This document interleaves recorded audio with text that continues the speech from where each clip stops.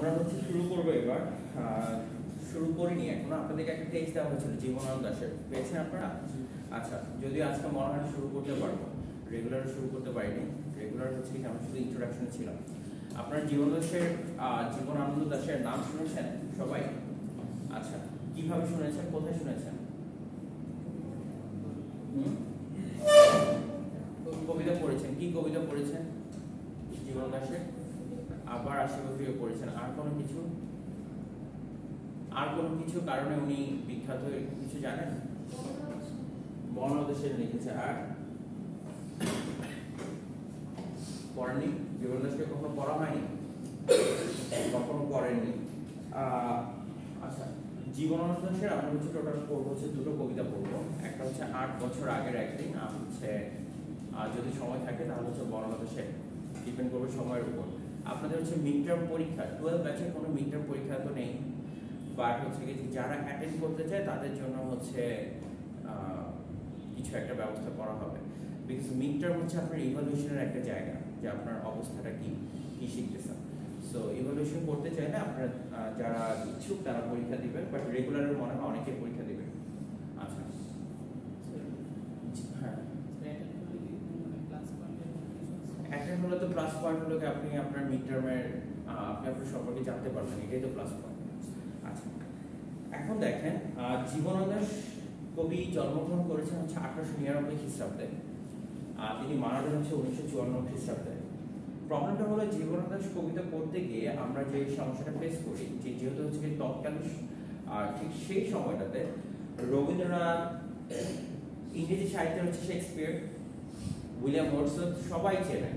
ঠিক তেমনি তখন হচ্ছে সেই সাহিত্যের রবীন্দ্রনাথ যে জায়গাটা দখল করে রেখেছে, সেই জায়গায় হঠাৎ করে হচ্ছে জীবনানন্দের মতো একজন কবির হঠাৎ করে আবির্ভাব, সেই আবির্ভাবটা আসলে কি বিস্ময়কর না? কারণ হচ্ছে রবীন্দ্রনাথ হচ্ছে এমন একটা বট গাছ। বট গাছের নিচে যদি আপনি অন্য কোনো গাছ জন্মে, সেই গাছটা বললাম হচ্ছে প্রপারলি সে আর বড় হতে পারে না। কেন বড় হতে পারে না? কারণ হচ্ছে বট গাছ নিজেই, সেই যে খাদ্যটা, সে খাদ্য সে নিজেই আহার করে। অনেকে বলে না, সে হচ্ছে আমার কাছে বট গাছের ছায়ার মতো। এই বট গাছের ছায়া কথাটা যতটুকু সুন্দর তার থেকে ব্যাপারটা হলো এই কথাটার ভিতরে হচ্ছে কি এক ধরনের আহ, লোভহর্ষক ঘটনা আছে। লোভহর্ষক ঘটনাটা হচ্ছে এইটা যে বট গাছ হচ্ছে কি আপনাকে ছায়া দেয় ঠিকই কিন্তু বট গাছ হচ্ছে কখনো আপনাকে বড় হতে দেয় না। বট গাছের নিচে যে গাছগুলো থাকে দেখবেন যে ওটা শুধুমাত্র এতটুকু এতটুকু সাইজেই হবে সে আর বট গাছের মতো কখনো বড় হবে না। তো রবীন্দ্রনাথের সময় এই যে জীবনানন্দ দাস তিনি যে কবিতা তিনি যখন কবিতা লেখা শুরু করেন তখন হচ্ছে জীবনানন্দ দাস যে হচ্ছে কি যে, তার যে ফ্লোরিশ হওয়ার যে প্রবাবিলিটি ছিল, সম্ভাবনা ছিল, সেটা বললাম ঠিক তেমন হয়নি। কারণ জীবনানন্দ যখন তার প্রথম কাব্যগ্রন্থ লিখেন, ঝরা পালক, লেখার পরে হচ্ছে রবীন্দ্রনাথকে এটা পাঠায়। খুব চমৎকার একটা চিঠি দিয়ে বলে যে, আমাকে হচ্ছে কি যে, আমার কবিতা কেমন লাগল? এবং হচ্ছে আমি হচ্ছে বিশ্ব বিশ্ব যে কবি, সে কবির কাছে আমি পাঠালাম এবং আশা করি হচ্ছে কি আমাকে এক সমালোচনার যে জায়গাটা, সেটা হচ্ছে আমাকে করা হবে। কিন্তু রবীন্দ্রনাথ বললাম হচ্ছে গিয়ে সেই জিনিসটা খুলেও দেখে এখন কেন খুলে দেখেনি সেটা হতে পারে তার ইগোর কারণে হয়তো বা তার ব্যক্তি স্বার্থের কারণে হতে পারে। তারপরেও যখন তিনি আবার হচ্ছে গিয়ে তার ধূসর পাণ্ডুলিপি আরেকটা কাব্যগ্রন্থ লেখেন, সেটাও আবার রবীন্দ্রনাথকে তিনি পাঠান। এবং তিনি পাঠান এই জন্যই যে সে বলে যে শ্রেষ্ঠজন শ্রেষ্ঠজন যদি কোনো কথা লিখেন অথবা কোনো বার্তা প্রদান করে, তাহলে সেটাই হবে হচ্ছে আমার কবিতার সার্থকতা। কিন্তু সেখানে রবীন্দ্রনাথ হচ্ছে দুই লাইন না তিন লাইনের একটা কমেন্ট করে ছেড়ে দেন। তার মানে একজন কবি, তিনি বেড়ে উঠতে চেয়েছেন এবং যার আশ্রয়স্থলে সেই ব্যক্তি, বললাম হচ্ছে তাকে কোনো ধরনের সহযোগিতা করেননি, সেটা হচ্ছে কে? রবীন্দ্রনাথ। এখন রবীন্দ্রনাথকে আপনার, আমার হয়তো বা সেই ক্ষেত্রে একটু হিংসুটে মনে হতেই পারে। হওয়াটাই স্বাভাবিক। কারণ জীবনানন্দ যে কবিতা লিখেছেন, পরবর্তীতে আমরা গিয়ে দেখব এবং জীবনদাসকে যারা পড়েছেন আর সেই ক্ষেত্রে হচ্ছে হয়তো বা কোনো কোনো ক্ষেত্রে রবীন্দ্রনাথকে ছেড়ে চলে গিয়েছেন, অর্থাৎ রবীন্দ্রনাথকে এক্সিপ করেছেন তিনি অনেক ক্ষেত্রে। কারণ রবীন্দ্রনাথের কবিতা হচ্ছে একটা ধাঁচের কবিতা। একটা ধাঁচ বোঝেন? মানে হচ্ছে কি যে সেই যে আপনার যে ব্যাপারটা হয় যে খুব সহজ একটা ধাঁচ। মানে আপনি যেটাকে বলেন আপনি যত রবীন্দ্রনাথের কোনো গান অথবা কবিতা যত আনন্দের কথাই হোক, টোনটা দেখবেন সেম সেটা হৃদয় ভাঙারও হোক, সেটা হৃদয় জোড়া লাগানোর হোক টোনটা দেখে সবসময় সেম থাকে। কিন্তু জীবনাদেশের কবিতাতে এসে দেখবেন একটা নতুন একটা সৃষ্টি হয়েছে। দেখেন বড়লাদা সেনের মতো কবিতা বাংলা সাহিত্যের লোক আর কখনো পড়েনি, আর পড়বেও না। এটা একটা অনবদ্য সৃষ্টি। আট বছর আগের একদিনের মতো কবিতা বাংলা সাহিত্যের লোক কখনো এটা পড়বে না। এটা একমাত্র একটাই সৃষ্টি। এবং এই সৃষ্টিগুলো এতটা বিস্ময়কর সৃষ্টি যে মানুষ হচ্ছে যুগের পর যুগ হচ্ছে গিয়ে শুধু এই কবিতাগুলো পড়েই যাচ্ছে। এখন হচ্ছে মিনিং দাঁড় করানোর চেষ্টা করছে। জীবনানন্দ দাস সমস্যা ছিল পারিবারিকভাবে খুবই একটা আর্থিকভাবে অসচ্ছল পরিবারে জন্মানো একটা ছেলে। আপনারা যদি জানেন হচ্ছে জীবন দাসের মায়ের নাম ছিল হচ্ছে কুসুম কুমারী দাস, যিনি একটা কবিতা লিখেছিলেন খুব বিখ্যাত। আমাদের দেশে হবে সেই ছেলে কবে? কথায় না বড় হয়ে, কাজে বড় হবে। অর্থাৎ সেই ঘরের সন্তানই হচ্ছে জীবনানন্দ দাস। বুঝতে পেরেছেন? এবং তার মাও ছিলেন একজন শিক্ষিকা, একজন কবি। সেই জায়গা থেকে জীবনানন্দ দাসের জন্ম এবং হচ্ছে জীবনানন্দ দাস হচ্ছে যেভাবে বেড়ে ওঠে। এবং তিনি ইংরেজি সাহিত্যের ছাত্র ছিলেন। তিনি মনে হচ্ছে বাংলা সাহিত্যের ছাত্র ছিলেন না। এটাও একটা ব্যাপার। অর্থাৎ হচ্ছে তিনি ইংরেজি সাহিত্য থেকে এসে তিনি হচ্ছে বাংলা সাহিত্যে কাব্য রচনা শুরু করেন। কিন্তু সেই ব্যাপারটা যখন শুরু হয়, যে তিনি এবং তিনি হচ্ছে ইংরেজি সাহিত্যও পড়াতেন। কিন্তু অনেক জায়গায় দেখা যায় যে তার হচ্ছে চাকরি চলে যায়। শেষ পর্যন্ত তিনি হচ্ছে বজ্রমোহন কলেজে তখনকার বরিশালে জন্মগ্রহণ করেন।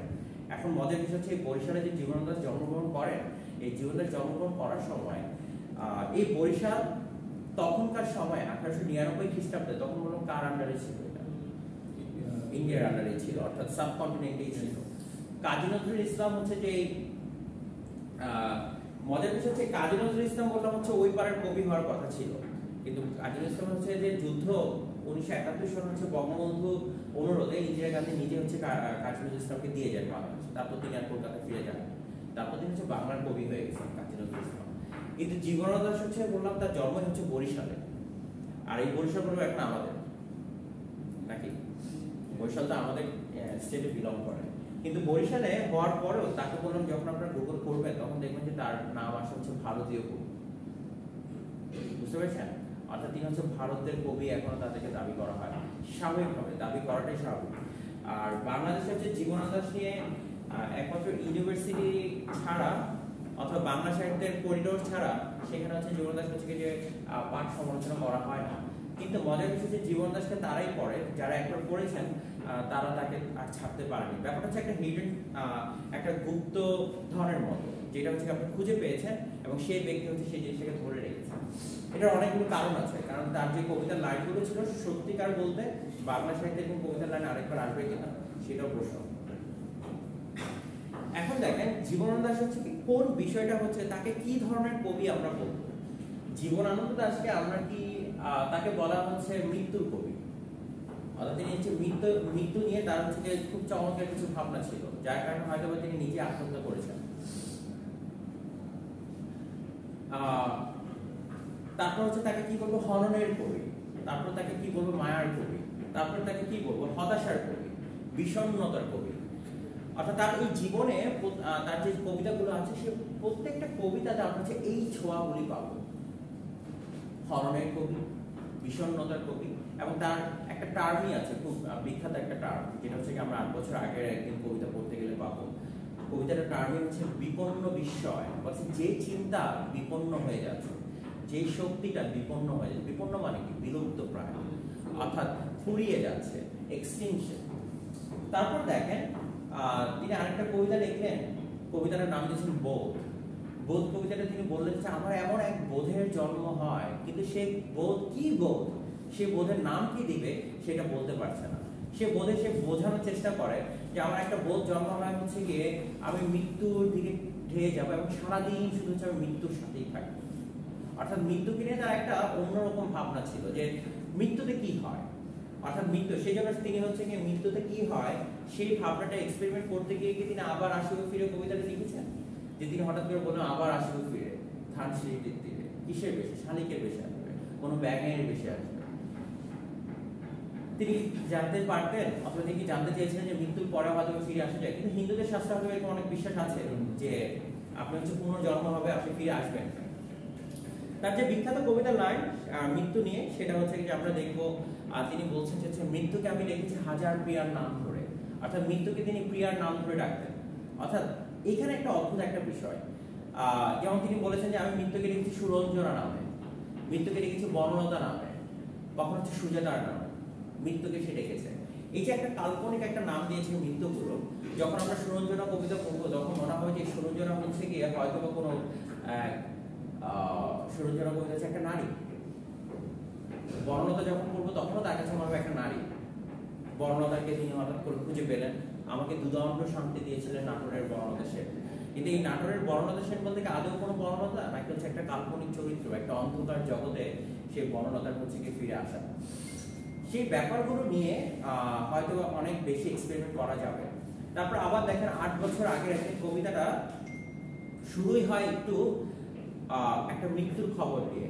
তিনি বলতেন যে তিনি হচ্ছে তার বরিশালের বাসায় যখন থাকতেন, তখন তিনি তার পাশে একটা মর্গ ছিল, যেখানে লাশ কাটা হয় তিনি হচ্ছে ওইখান দিয়ে প্রায় আর যাওয়া আসা করতেন। সেই যাওয়া আসা করতে করতে সেইখান থেকে হচ্ছে তার কবিতার একটা লিঙ্গ জাগে এবং সেখানে তিনি একটা কবিতা লেখেন। লেখেন যে হচ্ছে কি যে শোনা গেল লাশ কাটা ঘরে, নিয়ে গেছে তারে। বলছে লাশ কাটা ঘরে কি হয়েছে তাকে? ডেড বডি নিয়ে যাওয়া হয়েছে। যখন ডুবিল পঞ্চমীর চা, মরিবার জাগিল তার শ্বাস অর্থাৎ পঞ্চমীর চাঁদ ডুবে যখন, তখন হচ্ছে এটা একটা বিশেষ একটা দিন হিন্দুদের কাছে। তখন হচ্ছে মৃত্যু বলেন, জন্ম বলেন, এই জিনিসটা হচ্ছে হিন্দুরা এই জিনিসটা চায় না। তারা হচ্ছে খুব বিশেষ একটা শুভ দিন। কিন্তু ঠিক সেই দিনই হচ্ছে সেই লোকটা মারা যেতে হলো। এই গল্পটা নিয়ে হচ্ছে আট বছর আগের একদিন কবিতাটা লেখা। যে একটা মানুষ কেন এত শুভ দিন? এত কিছু থাকতে হচ্ছে সে আত্মহত্যা করে। এই প্রশ্নটা আমি জীবনদাস নিজেই লিখেছিলেন এবং আট বছর আগের একদিন বলতে বোঝা যায় যে এটা মনে হবে যে আপনার পুরো সম্পূর্ণ জীবনদাসের নিজের জীবনকে নিয়ে লেখা উপন্যাস লিখেছেন। সেই উপন্যাসগুলো কখনো প্রকাশিত হতে দেয় প্রকাশিত তিনি হচ্ছে নিজের ট্রাকে করে রাখতেন এবং অসংখ্য কবিতা ছিল, যে কবিতাগুলো সে নিজের ট্রাকে খুব নিচু স্বভাবের মানুষ ছিলেন। খুব কম কথা বলতেন। সরি সেই জায়গায় এসে জীবনদাস তখন হচ্ছে হঠাৎ করে যখন তিনি মারা যান, মারা যাওয়ার পরে হঠাৎ করে তার এই কবিতাগুলো হচ্ছে ফ্লোরিশ শুরু করে। শোভনা নামে একজন নারী ছিলেন যাকে তিনি খুব পছন্দ করতেন। তার খালাতো বোন ছিল। পরবর্তীতে তার সাথে আর বিয়ে হয়নি। বিয়ে হয়েছে একদম ঠিক আরেকজন অপরিচিত এক মানুষের সাথে। সেই ব্যাপারটা হচ্ছে তার ভিতরে একটা কষ্ট দেয়। আট বছর আগের একদিন কবিতাটা যখন লিখে, তখন জেরুদাস বলে, তার পাশে হচ্ছে তার স্ত্রী আর মাঝখানে হচ্ছে তার সদ্য জন্ম নেওয়া শিশু। এই সব জিনিসে, একটা উপন্যাসে তিনি বলেই উঠেন যে হচ্ছে কিনা আমার যখন একটা উপন্যাসে তিনি বলেই ওঠেন যে মানুষের যে হচ্ছে যে আত্মগ্লানি, মানুষ হচ্ছে কি যে মানুষ মানুষের সাথে বসবাস করে ঠিকই, কিন্তু মানুষ কতটুকু হচ্ছে মানুষকে চিনতে পারে? অথবা মানুষ মানুষকে কতটুকু হচ্ছে বুঝতে পারে? অভাব হচ্ছে এমন একটা জিনিস যেটা হচ্ছে মানুষকে হচ্ছে বদলিয়ে দেয়। এই বদলিয়ে দেওয়াটা হচ্ছে কি বিভিন্ন ভাবে হতে পারে। আপনাকে অভাব হচ্ছে কি একভাবে বদলায়, আবার আমাকে হচ্ছে অভাব আরেকভাবে বদলাবে অভাব হচ্ছে এমন একটা জিনিস, কাউকে হচ্ছে ক্রিমিনাল তৈরি করে, আবার আবার হচ্ছে কারোর ভিতর থেকে যে সবচেয়ে ভালো যে প্রতিভাটা, সেটা হচ্ছে বের করে নিয়ে আসে। অভাব হচ্ছে এমন একটা জিনিস। জীবন জীবনান্বেষের পুরো জীবন জুড়েই ছিল অভাব। তিনি বললাম কবিতা লিখে যে খুব বড় লোক হয়ে গেছে এই কন্যা। দ্বার প্রান্তে ঘুরেছেন এবং তার সাথে হচ্ছে যে কবি ছিলেন বুদ্ধদেব বসু, তাকে হচ্ছে খুব সাহায্য করেছিলেন এই কবিতাগুলিকে প্রকাশিত হওয়ার জন্য। এখন আপনারাই চিন্তা করেন যে একটা লোক যার চিন্তা ভাবনা হচ্ছে মৃত্যু নিয়ে, যার চিন্তা ভাবনা হচ্ছে মৃত্যুর সাথে পাঞ্জা লড়ার মতো। সেই ব্যক্তিটা অথবা যে ব্যক্তিটা আপনাকে গল্প শোনালো যে মানুষ তো বাঁচতে চায়, সবকিছু ঊর্ধ্বে গিয়ে মানুষ বাঁচতে চায়, আমরা তো বাঁচতে চাই নাকি? আপনি দেখবেন আইসিইউতে যে মুহূর্তটা আপনার বাবা সংগ্রাম করছে, আপনি বললাম আপনার জীবনের সমস্ত ইনভেস্টমেন্ট দিয়ে দেবেন আপনার বাবাকে এক মুহূর্ত বাঁচানোর জন্য নাকি? যদি তিনি এক ঘণ্টা আরও বেশি বাঁচেন, এটাই আপনার কাছে পাওয়া, ঠিক না? অর্থাৎ মানুষ মানুষের কাছে, মানুষ বাঁচার জন্য কি না করে? সামান্য এক ঘণ্টা বাঁচার জন্য বললাম হচ্ছে কি সে এফোর্ট দিয়ে দেয়, যে এক ঘন্টাই বাঁচে এবং আমি হচ্ছে আমার জীবনে যত সঞ্চয় আছে, সেই সঞ্চয়গুলো হচ্ছে কি উজাড় করে দিব, শুধু এক ঘণ্টা বাঁচতে চাই। মানুষ সবকিছু উঠে গিয়ে বাঁচতে চায়, কিন্তু কথা হচ্ছে কি, আবার কিছু মানুষ থাকে যারা হচ্ছে আবার বাঁচতে চায় না, ঠিক বিপরীত ধর্মী। কেন এই ধরনের চিন্তাগুলো মানুষের ভেতরে আসে? যে এক ধরনের মানুষ হচ্ছে কি তার সারা জীবনের পুঁজি উজাড় করে দেয় এক ঘণ্টা বাঁচার জন্য, আরেক ধরনের মানুষ সেখানে হচ্ছে কি করে? তার জীবনটা তার কাছে এক ধরনের বোঝা মনে হয়। এই বোঝা সে বইতে পারে পারে কি বইতে? নাহলে কি মানুষ আত্মহত্যা করতো। আপনি প্রতিদিন যখন দেখবেন দেখবেন যে মানুষ হচ্ছে আত্মহত্যায় ভরপুর। কেন মানুষ আত্মহত্যা করে? দেখেন, আত্মহত্যাটা এই জন্য করে না যে হচ্ছে কি সে মৃত্যুকে, মৃত্যুর দিকে ঠেলে যেতে চায়। না, সে কেন করে? সে জীবনের বোঝাটা আর সইতে পারে জীবনের বোঝাটা তার কাছে অনেক কঠিন মনে হয়। জীবনানন্দ দাশের কাছেও ঠিক জীবনের বোঝাটা একটু কঠিনই মনে হয়েছিল একটা উপন্যাস লিখেছেন, সেই উপন্যাসে তিনি বলছেন, প্রতিদিন রাতে হচ্ছে সে ঘরে ফিরে আসে, আসার পরে হাজবেন্ড ওয়াইফ হাজবেন্ডকে জিজ্ঞেস করে, আজকে কি তুমি চাকরিটা পেলে? হাজবেন্ড বলে, খুব চেষ্টা করেছি, চাকরি তো পেলাম না। বলে যে আচ্ছা ঠিক আছে, যদি চাকরি পাই তাহলে কি কি করব তুমি জানো? বলো, কি কি করবে?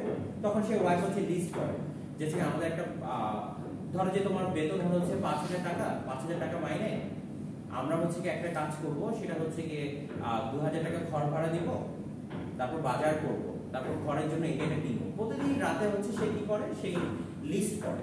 হাজবেন্ড ঘরে ফিরে আসে, চাকরির খোঁজ করে, আর সে হচ্ছে আনুমানিক একটা ধরে, ধরো তুমি চাকরিটা কালকে পেয়েই গেছো, পাঁচ হাজার টাকার চাকরি, তাহলে আমরা কি কি করব? সে লিস্ট করে।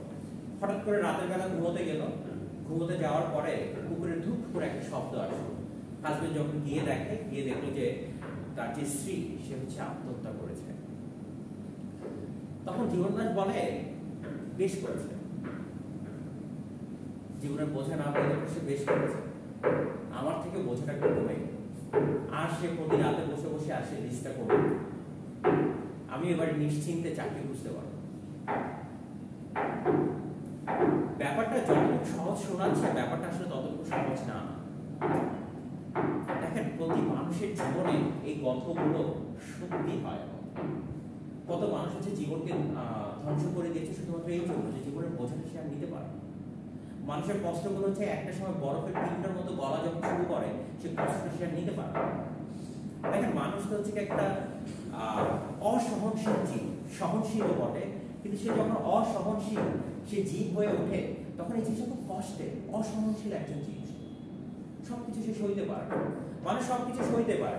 কিন্তু যে বোঝাটুকু জীবনের যে বোঝাটা, জীবনের যে কম্পিটিশন জীবনের যে প্রতিযোগিতা, সে বোঝায় যখন সে হেরে যায়, তখন কোনো সে নিস্তব্ধ হয়ে যায়। সে বোঝাটা সে আর বইতে পারে না। এবং সে বোঝা না বইতে পারার কারণে তিনি মনে তার জীবনকে হচ্ছে বিলিয়ে দেন, অন্য কোনোভাবে। কোনো স্বাভাবিক মৃত্যু না, কোনো অস্বাভাবিক মৃত্যুর দিকে তিনি তাকে ঠেলে দেন। বুঝতে পেরেছেন? নাকি বুঝে নেই তার মানে জীবন দেশে কবিতার ভিতরে কি আপনি পুরো কবিতাটা করে যখন করবেন যে কোনো কবিতায় পড়েন, এই থিমগুলো আপনাকে মাথায় রাখবেন ঠিক আছে? অর্থাৎ আপনি যে নারী পাচ্ছেন, সেই নারী শুধুমাত্র সেই নারী না, সেই নারীর হচ্ছে কারণ সিম্বলিক্যাল অনেকগুলো মিনিং আছে। আপনি যে বর্ণতা পাচ্ছেন বর্ণতাকে যে প্রেমের কবিতা দিয়ে আপনারা চালিয়ে দিয়েছেন, সে চালিয়ে দেওয়াটা চলবে না। বর্ণতা বলতে একদম সম্পূর্ণ একটা ডিফারেন্ট পার্সপেক্টিভ সেখানে আমরা দেখব যে অশোকের কথা বলা হচ্ছে বিম্বিসার কথা বলা হচ্ছে সেই অশোক বিম্বিসার দুজনে ছিলেন, রাজা ছিলেন। সে রাজাদের কাহিনী কি ছিল সেটাও ছিল। গৌতম বুদ্ধের কাহিনী আছে, সে মানে একদম পুরো গল্প কবিতাটা। কিন্তু এই কবিতাটা তিনি আবার নিজে বলেছেন, আমি হচ্ছে অনুপ্রাণিত হয়েছি। এডগার অ্যালান পো নামে একজন কবি ছিলেন। সে কবির আরেকটা কবিতা ছিল না হচ্ছে টু হেলেন সেই কবিতাটারই আরেক রকম রূপ হচ্ছে এই বর্ণদেশে। বুঝতে পেরেছেন? আমরা নেক্সট ক্লাসে পড়ব হচ্ছে শুরু করব আট বছর আগের একদিন দিয়ে রেগুলার ক্লাস অর্থাৎ কালকে কালকে হচ্ছে আমরা টেক্সট শুরু করব। তার মানে তখন আপনারা একটা রেকর্ডিং পাবেন। শুক্রবারে আপনারা যখন হচ্ছে ক্লাসে আসবেন, আট বছর আগের একদিনের যে লেকচারটা দেওয়া হবে সেটা আগে শুনে আসবেন। শুনে আসলে আমরা হচ্ছে আলোচনাটা করতে সুবিধা হবে। একটা জিনিস মনে রাখবেন আপনারা হচ্ছে যেটাকে আপনারা হচ্ছে প্রিপেইড আর রেগুলার হচ্ছে পোস্টপেইড বুঝতে পারছেন? নাকি বুঝছেন নাই? আপনারা হচ্ছে গিয়ে যে যেটাকে বলা সরি আপনারা হচ্ছে পোস্ট পেড রেগুলার হচ্ছে প্রিপেড হ্যাঁ? রেগুলার আগে আগে যায় সব কিছু অর্থাৎ এক ওয়ান উইক তারা আগিয়ে থাকে। আপনি হচ্ছে ওয়ান উইক পিছিয়ে থাকেন। So, আপনি যদি অ্যাডজাস্ট করতে চান সবসময় হচ্ছে কি রেগুলার যে ভিডিওগুলো আপলোডস হয় সেগুলো আগে দেখবেন ভালো করে শুনবেন। দেখেন আপনাকে শুনতে হবে। যদি না শুনেন তাহলে আপনি পিছিয়ে যাবেন। ক্লিয়ার আচ্ছা অনেকগুলো না ফিমেল ছিল আর? দুইজন আর দুই তিনজন অ্যাবসেন্ট আচ্ছা সো উইকেন্ডে আমার আচ্ছা রেকর্ডিংটা অফ করে দেন। আজকে এখানে শেষ করছি। উইকেন্ডের একটা জিনিস মনে